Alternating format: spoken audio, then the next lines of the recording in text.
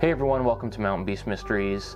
It was asked in the comments by Janet Davis for me to go over the Marble Mountain video and what I thought of that.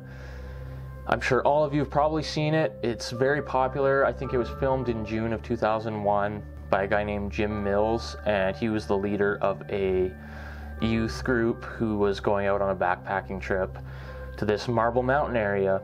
Marble Mountain's located in California, just like the Patterson Gimlin footage. Since the first time I saw the Marble Mountain footage, I never thought it was a real Bigfoot creature. It always just felt to me like it was a person. And a big part of that is because there's certain parts in the clip where it really doesn't seem as sure-footed as I think a real Sasquatch would be. You can kind of see it stumbles around multiple times as it's coming down this this ridge, and uh, I think a Bigfoot creature that lived out in the wilderness would be a bit more sure-footed, and it wouldn't look like it was out of its element, like this being kind of does, right? No detail in the silhouette the camera quality is very poor. You know, shot back in 2001, so it, it, looks like it was on some some sort of tape, like a mini DV tape, standard definition, and all it is is a silhouette. There's no detail. You can't see anything. Bigfoot Tony went over the video. MK Davis stabilized it. The exact spot that the youth group is in, there's a campsite right there. There's a fire pit. The guy in the video says there's a fire pit there. And uh, there also appears to be some sort of shelter that was made a very basic spruce bough shelter. And uh, you can actually see in the video, there looks to be a piece of rope attached to one of the logs at the entrance of this shelter. So there, there has been humans there. What's to say there isn't another campsite in the area? You know, not too far from there, maybe on the other side of the ridge. It could very well be another hiker, a solo hiker, doing his own thing. He probably has a camp somewhere else, and he was probably just summiting that peak. They brought a whole youth group on this trail, so I'm assuming it's a very well known hike. The chances of them being the only people there in the summer are pretty slim. I mean, it's getting harder and harder nowadays to to not run into people out on these trails. The Sasquatch is a very elusive creature. I don't know why it would silhouette itself like that for all to see right on, on a ridge like that. Yeah, it, it moves down that ridge like a human would. It stumbles around, it's not sure footed, it's very sloppy, and it doesn't care that it's exposed in all directions basically. So that to me kind of rules out the idea that it could be a Bigfoot. Some people say its limbs look very long. You know, there's chromatic aberration in the footage and other artifacts that really, really dissolve the quality of it. It also, like, proportionately doesn't really look like a Bigfoot. It's not very thick. Its legs look skinny. It doesn't have huge, broad shoulders. It just doesn't really look like a Bigfoot. It doesn't act like a Bigfoot, so it's most likely not a Bigfoot. What a great way to excite this group of kids as well, you know, claiming that it could be a Bigfoot, get them all excited. You know, they're going to talk about this trip for many, many years. It's going to be very memorable for them because of this incident. I kind of feel like the leader of this group was just going along with it to, to get some excitement for the kids, there's also a point in the video where the being walks down further. He's in between two spruce trees.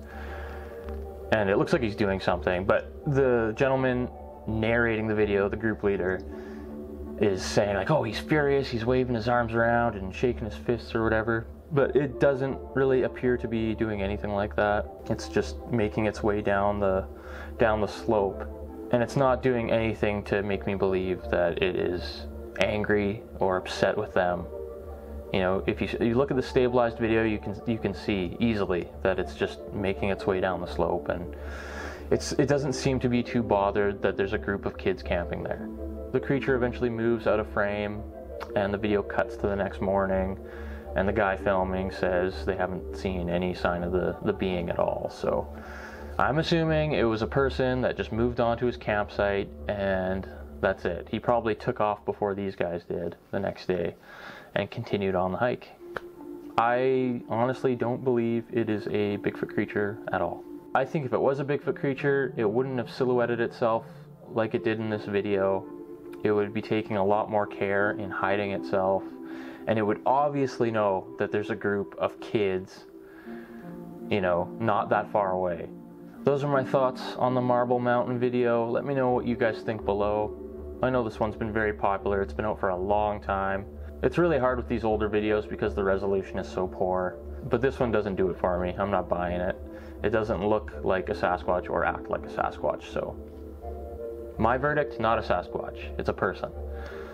One more thing before I wrap up this video. I was just surfing along YouTube, looking at random stuff, and I came across a video that I thought was very interesting called Ritualized Warfare in New Guinea. And I have the link below in the description if you want to check it out. I've been doing a lot of reading on like early humans and things of that nature. And I thought it was a very interesting video because it's almost like the camera crew traveled back in time to film this massive battle between these two tribes. And it is so incredible. They're throwing spears at each other and they're shooting arrows at each other. This one guy got shot in the ass with a with an arrow and it was just hanging out of his butt and they had to pull it out. It was pretty funny. But check it out. It is super interesting. Like, it, it's a window back in time for sure. Anyways, that's all I got for today. Hope you enjoyed this video. Stay tuned for the next episode of Mountain Beast Mysteries.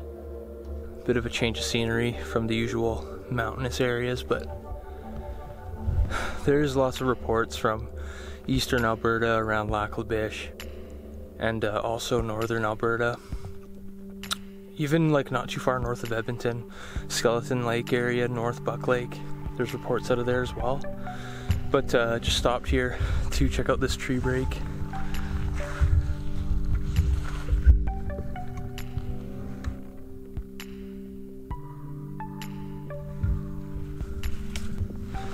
It's like over seven feet tall, and uh, it looks very, very fresh. But with this tree break, I don't know if you can see it there. I'm almost certain it's from like an antlered creature, like a elk or something like that. Look at the bottom of the branch here.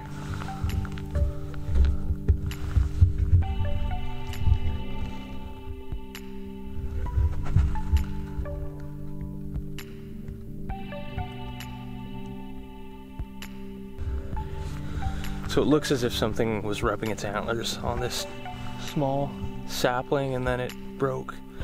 Could have been a moose actually. It's more likely a moose than an elk out here. The weird thing is there's no tracks in the snow around here at all.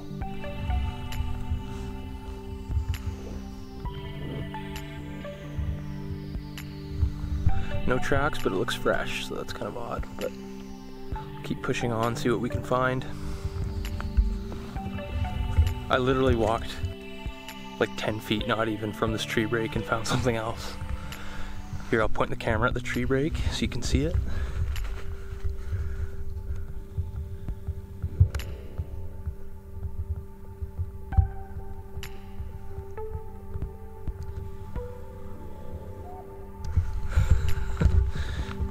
Another weird thing is that this stick, this is kind of similar to what I saw out on Vancouver Island when I was at uh, Henry Lake when I was driving up the road, I stopped and I saw a weird stick on a tree. It was just, it looked like it was placed there. And this is very, very similar. Check this out.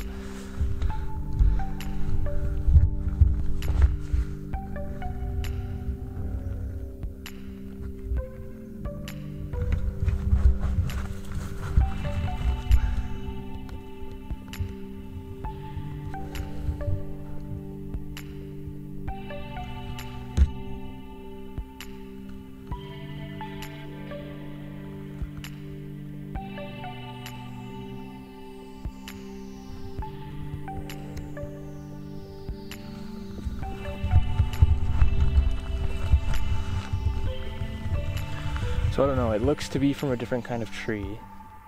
And it's about three feet long. Well, like two and a half feet maybe. And it's just placed there.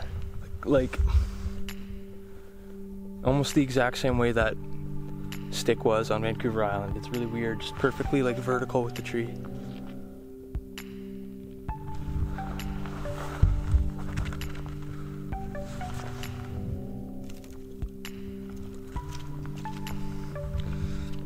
Hanging on by this twig. Hard to tell, right? Could have fallen from this tree behind it, but it just kind of landed perfectly. Perfectly like that.